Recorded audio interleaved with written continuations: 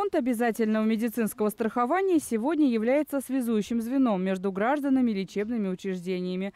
Прежде чем обратиться за помощью к врачу, следует выбрать компанию и получить полис ОМС. На сегодняшний день он выдается в двух форматах – бумажном или пластиковой картой. И тот, и другой имеют одинаковую законную силу. При наличии документа, подтверждающего, что пациент застрахован, его прием в лечебных учреждениях осуществляется бесплатно. Гражданин для реализации этого права прикрепляется к выбранной им медицинской организации для получения первичной медико-санитарной помощи.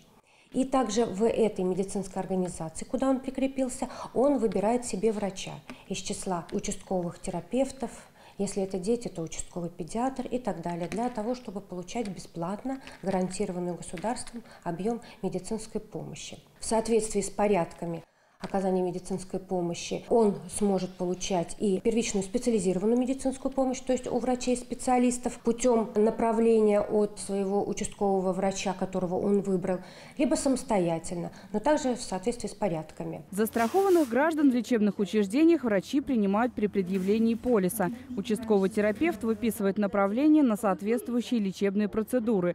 Программы госгарантии предусмотрен большой спектр услуг, которые может получить пациент бесплатно бесплатно. Сюда же входят и дорогостоящие процедуры, но исключительно по направлению лечащего доктора.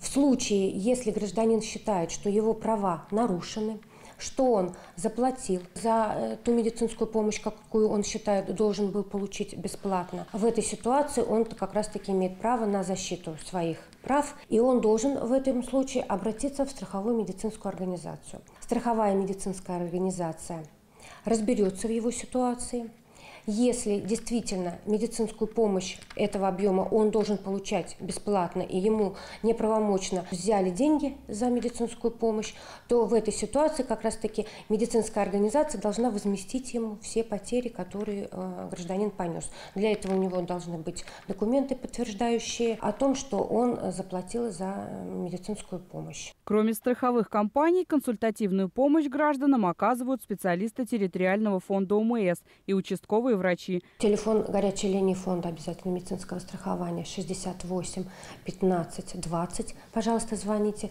А так у каждого гражданина есть полис обязательного медицинского страхования, где указаны координаты его страховой компании. Поэтому он может обращаться туда, где его всегда проинформируют и помогут.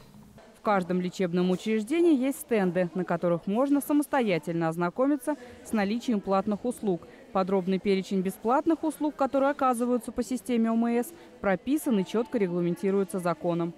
В программе госгарантии сроки ожидания определены плановой госпитализации месяц. Вот за этот период времени его лечащий доктор должен определиться, куда он его направляет.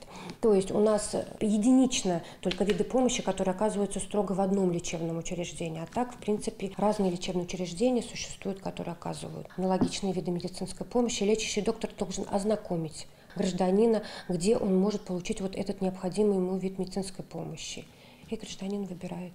Качество услуг, предоставляемых лечебными учреждениями, контролируют страховые компании и территориальный фонд ОМС. Контроль качества закреплено законом, и это прямая обязанность страховой медицинской организации. Они должны регулярно проводить проверки экспертные во всех лечебных учреждениях. Также определено государством и обязанностью фонда. Значит, мы можем проводить как плановые проверки в лечебных учреждениях, так и путем контроля за деятельностью страховых медицинских организаций, что мы и делаем.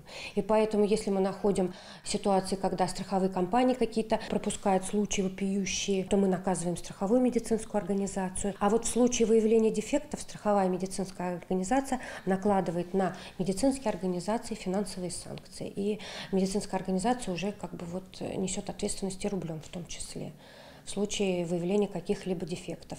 По словам специалистов фонда, пациенты сейчас достаточно грамотные, а потому острых конфликтных ситуаций нет. Все вопросы решаются на месте. Если не с лечащим врачом, то на уровне заведующего поликлиникой.